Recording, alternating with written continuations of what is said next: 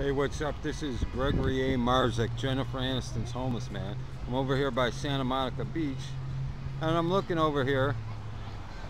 Right there, can you see the light over there? That's Malibu over there.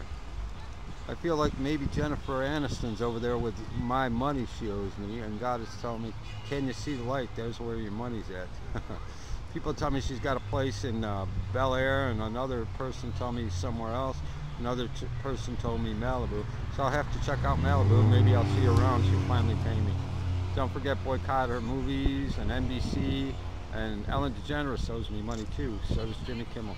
All right, thanks a lot. Take it easy. Have a good, good 4th of July and a good 2013. Bye-bye.